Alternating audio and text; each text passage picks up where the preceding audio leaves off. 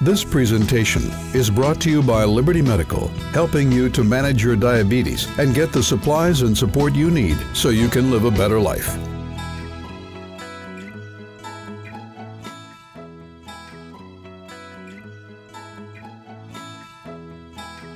Hello, I'm Amy Tenderich, founder of DiabetesMine.com, an online information resource and networking place for people with diabetes. I'm also a type 1 diabetic myself and co author of a patient handbook called Know Your Numbers, Outlive Your Diabetes. There are five key numbers or five key medical tests that everyone with diabetes should have and monitor on a regular basis because measuring your blood glucose alone cannot give you the big picture on your overall health with diabetes. Let's take a look at these tests.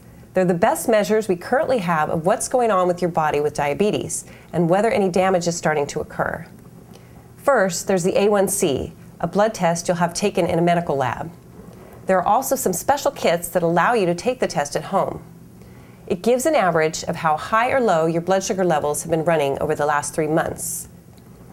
You should have your blood pressure checked every six months. It's at least as important as the A1C in monitoring your heart health. A lipid panel is a lab based blood test that measures good and bad cholesterol in your blood, and also triglycerides, another type of fat all used to determine your risk of heart attack or stroke. You need to have this done once a year. Microalbumin is a specialized urine test that's the best early indicator of kidney damage. This is the test most often overlooked by doctors, so you should definitely ask your doctor about it. And you should have a dilated eye exam. This yearly exam consists of dilating your pupil so the doctor can see all the way to the back of your eye to check for any damage. Keep in mind that knowing where you stand with your health is half the battle. If you don't have these exams done regularly, you can only guess at the overall condition of your body with diabetes. On the other hand, when you've got these five test results, you can see exactly which items are out of range and you can better focus your efforts. For example, maybe weight loss isn't as important for you right now as changing your diet and starting a medication to lower your blood pressure. I would encourage you to ask your doctor about getting these five key tests regularly.